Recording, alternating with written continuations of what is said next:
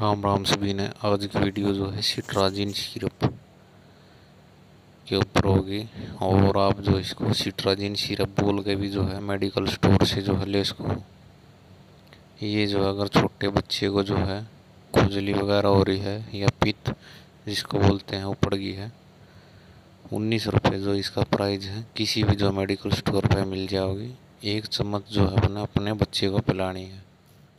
दस साल का अगर बच्चा है तो।